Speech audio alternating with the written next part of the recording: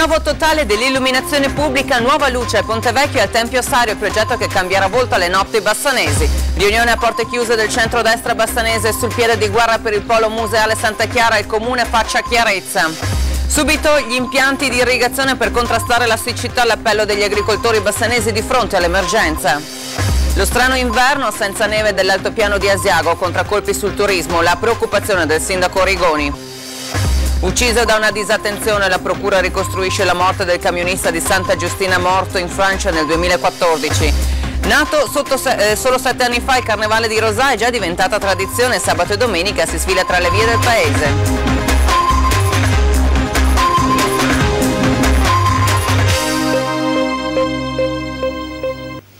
Buonasera a tutti voi telespettatori, come avete sentito cambia volto l'illuminazione pubblica di Bassano del Grappa. Il comune annuncia l'intenzione di rinnovare il sistema di illuminazione con un occhio particolare ai monumenti più importanti della città.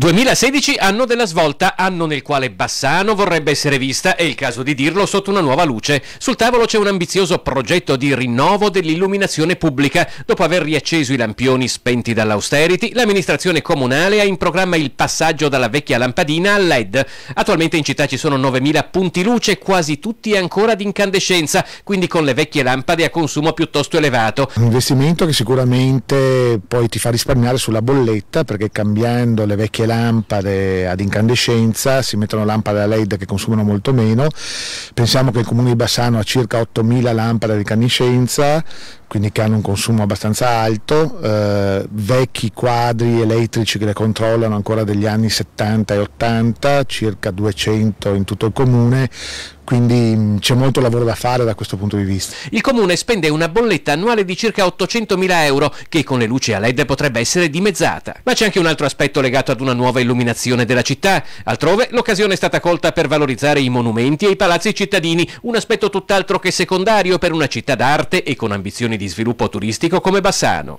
Il centro storico ha delle zone caratteristiche molto molto belle, il ponte ha bisogno di alcuni accorgimenti, alcuni dei quali sono inseriti nel progetto di restauro, Un'altra area sicuramente buia che va presa in considerazione è quella del Tempio Ossario, insomma quando uno arriva di sera questo bellissimo monumento non si vede in nessun modo, quindi è eh, una parte della città che va ripensata dal punto di vista della pubblica illuminazione. Resta però l'incognita finanziamenti per rinnovare l'intera illuminazione pubblica di Bassano servirebbero circa 5 milioni di euro, più o meno la stessa cifra necessaria al restauro del Ponte Vecchio. Il Comune è in attesa di una risposta alle richieste inoltrate a Regione ed Unione Europea. E intanto in via Matteotti continua a far discutere il futuro dell'area ex Cimberle Ferrari dove dovrebbe sorgere un polo museale Santa Chiara. Stasera il centrodestra bastanese si riunisce per mettere a punto una strategia comune alle opposizioni. Il centrodestra bassanese rinserra le fila in vista del prossimo Consiglio Comunale. Sempre più compatti, Forza Italia, Lega Nord, Impegno per Bassano e Bassano Congiunta intendono porre con decisione la questione Polo Museale Santa Chiara. Stasera i consiglieri delle quattro liste si incontreranno per mettere a punto una strategia comune alla luce di quell'inaspettato dietrofront dell'amministrazione Poletto, tornata possibilista sul progetto. Il ripensamento della Giunta sull'ipotesi di un nuovo museo nell'area dell'ex Cimberle Ferrari ha colto di sorpresa le minoranze, così come quella richiesta di un parere legale sulla possibilità di dirottare i fondi previsti per il museo verso la creazione di un nuovo teatro. Una sorpresa soprattutto per il fatto che sull'argomento il centrodestra rivendica d'aver previsto ciò che sta accadendo ora, ma di essersi scontrato in via Matteotti con la chiusura ferrea della maggioranza ad ogni dialogo, una chiusura culminata nell'ultimo consiglio comunale quando l'argomento era finito in coda alla seduta. La discussione era iniziata abbondantemente dopo la mezzanotte, troppo tardi affermano dalle opposizioni per una questione così importante, per quei lavori lasciati a metà nel cuore di Bassano sono già stati spesi 2 milioni e mezzo di euro, un fatto che secondo le opposizioni dovrebbe posizionare l'argomento all'ordine del giorno. Allarme e siccità nel Bassanese, i coltivatori chiedono la realizzazione di quegli impianti di irrigazione che potrebbero mettere in sicurezza le coltivazioni. Il servizio. Abbiamo la necessità di avere un, un impianto irriguo efficiente con basso consumo d'acqua, eh, parlo di un pluririgo che nella nostra zona è necessario, dobbiamo lavorare per portare a casa questo importante impianto. Allarme rosso agricoltura. La siccità di questo inverno preoccupa il settore che chiede a gran voce provvedimenti urgenti. Le conseguenze di questa prolungata assenza di pioggia si vedranno tra qualche mese. I prodotti di questo periodo diciamo non sono così assoggettati a una carenza idrica, però il prossimo futuro, le prossime semine a pieno campo, il mais, la soia e tutte le produzioni che verranno messe a dimora da questa primavera, indubbiamente la mancanza idrica è sicuramente una situazione di calamità. Al momento è difficile stabilire quanti danni abbia provocato la mancanza di pioggia alle produzioni agricole. Preoccupa anche l'assenza di nevicate in montagna, basilari per creare la riserva d'acqua necessaria nel periodo primaverile ed estivo. Bisogna subito correre ai ripari attraverso i progetti di microirrigazione. C'è già un progetto della Regione Veneto eh, per quanto riguarda la Pedemontana eh, che riguarda da destra Branta di Bassano fino a, quasi a Braganze di cinque lotti, uno già realizzato negli anni scorsi che riguarda Pianezze soprattutto e poi bisogna andare avanti sul resto dei comuni del Bassanese. L'impressione o il timore è che bisognerà fare i conti sempre più spesso con situazioni climatiche come quelle di quest'inverno. L'agricoltura bassanese non può farsi trovare ancora impreparata. È difficile dire quanto piove meno o quanto non piove meno. Certo che eh, noi, come già stato detto, per fare prodotti di grande qualità l'acqua è necessaria. Qui nella nostra zona i prodotti sono di alta qualità, vedi broccolo, vedi asparago, vedi le altre culture che abbiamo citato, orticoli in generale, e questi prodotti chiaramente senza acqua non, non possiamo pretendere di poterli avere.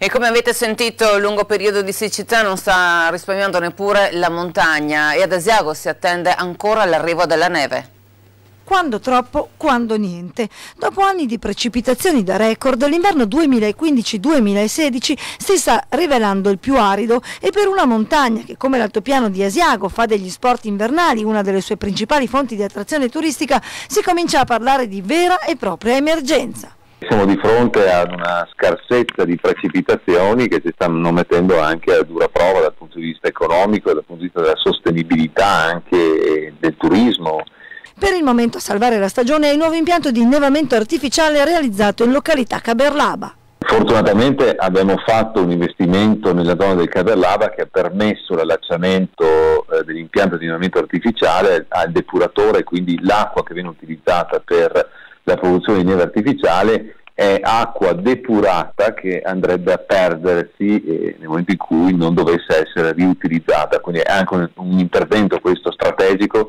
di autosostenibilità dal punto di vista economico che ha permesso di, di nevare adeguatamente tutta l'area del Cabellava. L'innevamento artificiale però per il momento può solo limitare i danni. È evidente che però una situazione, una stagione di questo tipo anomala, punto di siccità, è una situazione assolutamente pericolosa che speriamo possa essere superata dalle precipitazioni che dovrebbero arrivare dopo il 25 di gennaio. In caso contrario si potrebbe arrivare a quella richiesta di calamità già ipotizzata settimane fa anche dal presidente Zaia. Principio d'incendio in un eh, calzatorificio di Via Ramona Rossano Veneto, le fiamme sono divampate nell'impianto di aspirazione, sul posto sono giunti i vigili del fuoco di Bassano che in pochi minuti hanno spento le fiamme. Ed ora invece torniamo un attimo ai tragici fatti di Parigi dello scorso novembre perché proprio da quegli eventi è nata l'idea dell'incontro proposto oggi dalle Acli Bassanesi. Sentite di cosa si tratta. Eh, alla luce anche di tutti gli attentati che ci sono stati di matrice jihadista. Eh, molto spesso si generalizza eh, jihad uguale Islam, tutto questo fa paura? No, non fa paura, sono due cose distinte si tratta che gli addetti ai lavori sappiano distinguere e prendere precauzioni del caso. Eh, sì, non è che, oddio, qua noi a Bassano penso che siamo su un'oasi felice, però certo che paura no, paura piuttosto quando si va in giro, se si deve andare non so, in aeroporto, prendere un aereo, fare un viaggio particolare su qualche città. L'Islam non ha mai permesso a nessuno di, no, di uccidere, no. Per... Come sempre ci sono i soliti estremisti? Sì, sono gli estremisti che fanno quello. Cosa conoscono i bassanesi dell'Islam? Come vivono il rapporto con questa religione e con i suoi fedeli? Dopo i fatti di Parigi è cambiato il modo di vedere gli islamici. Proprio per rispondere a questi e a molti altri quesiti, questa sera le Acri bassanesi organizzano al centro giovanile un incontro dal titolo Islam, paure e realtà. Relatore dell'incontro uno dei massimi esperti del mondo islamico, Stefano Allevi, sociologo dell'Università di Padova. Questo l'obiettivo della serata. Soprattutto la conoscenza, soprattutto il superamento dei pregiudizi, ripeto, perché sono pericolosi, si rischia di andare a un conflitto tra le civiltà che non porta bene per nessuno, noi cerchiamo invece una convivenza, insomma, ce lo insegna il Papa oggi, noi come ACLI non possiamo che seguire queste indicazioni che vengono e che sono veramente all'altezza dei tempi. Ha circuito una 73enne di Castelfranco facendosi consegnare 4.500 euro fingendosi di essere un avvocato ma è stato scoperto e così un 23enne padovano è stato denunciato per truffa. Il giovane aveva riferito alla donna che il figlio era rimasto coinvolto in un grave incidente stradale a Firenze e che se non avrebbe pagato la somma richiesta avrebbe eh, avuto pesanti conseguenze. Scoperto il 23enne è stato denunciato dai carabinieri. Nato solo sette anni fa, il Carnevale di Rosà è già diventato tradizione. Sabato e domenica si sfila tra le vie del paese. Il Carnevale inizia da Rosà. Come tradizione è proprio il paese della Rosa a inaugurare la stagione dei concorsi riservati ai carri allegorici. La prima sfilata dell'anno è in programma già il prossimo sabato quando sarà assegnata l'ormai tradizionale Rosada in un'edizione del Carnevale rosatese pronto a sfidare anche la Cabala. Sfidiamo la Camera perché comunque settima edizione, 17 carri, 700 figuranti, quindi ecco, eh, ci siamo. In arrivo praticamente da tutta la regione, i carri in gara sabato sera saranno ispirati ai temi più diversi, da Pierino la peste a Totò, passando per la bella e la bestia, fino ad arrivare alla ricerca della felicità, titolo scelto quest'anno dai figuranti di Rossano Veneto, vincitori delle ultime tre edizioni del concorso. E domenica si replica nella zona dello stadio con la manifestazione aperta a tutte le associazioni. È importantissimo per noi che il carnevale sia condiviso con associazioni, con i bambini e con il territorio, quindi ecco, aperto all'Istituto Palazzolo, ai giovani unità di Bassano, alle scuole e ci siamo anche noi. E manteniamo vive le nostre tradizioni, soprattutto popolari, che hanno una rilevanza importante nel territorio per tramandare ai ragazzi veramente questa popolarità. Credo io devo ringraziare veramente i ragazzi della Proloco perché si stanno dando un grande affare su tutte le manifestazioni, non solo il carnevale, e anche gli alpini che collaborano con noi. Una comunità viva che continua a lavorare.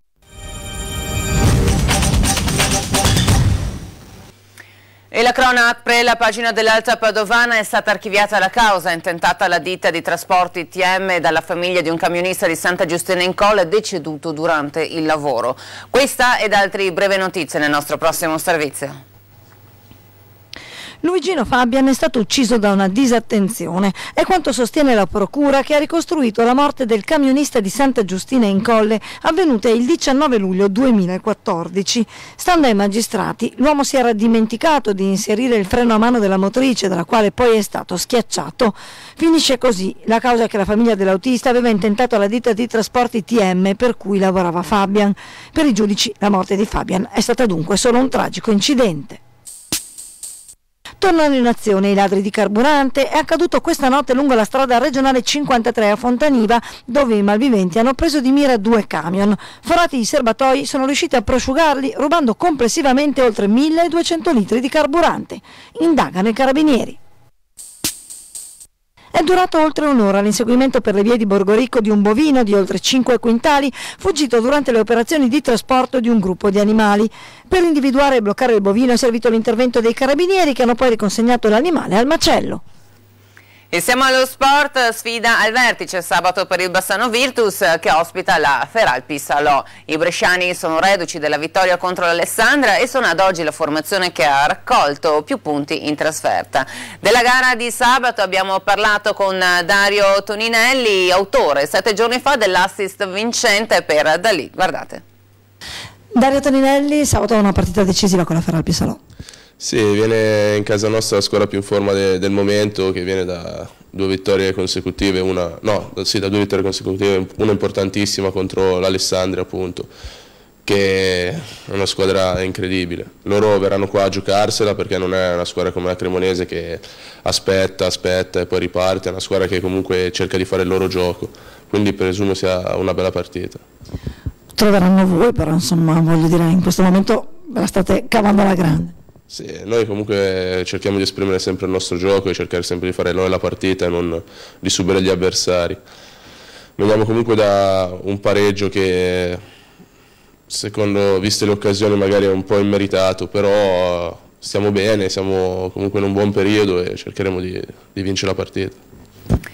Tornano i Veneti schiacciati dalla crisi questa sera a Focus in studio uomini e donne, protagonisti di storie drammatiche con Mirella Tuzzato e i suoi volontari. Facciamo, eh, faremo il punto sul Banco Solidare e eh, il nostro fondo a sostegno per le famiglie in gravi difficoltà, quindi non perdete l'appuntamento a partire dalle 21.05. Ora vi lascio le previsioni del tempo, io vi ringrazio dell'attenzione e vi auguro una buona continuazione di serata. Arrivederci.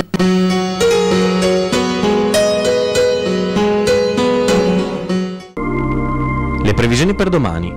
Parzialmente nuvoloso sulla pianura, specie quella meridionale, per presenza di nubi basse. In prevalenza sereno o poco nuvoloso sulla montagna. Aumento della nuvolosità alta in serata.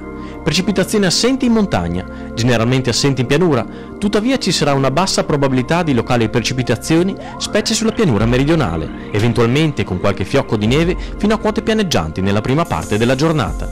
Temperature variazioni locali con tendenza all'aumento delle minime in pianura, ma con valori sempre inferiori a zero, lieve diminuzione in quota.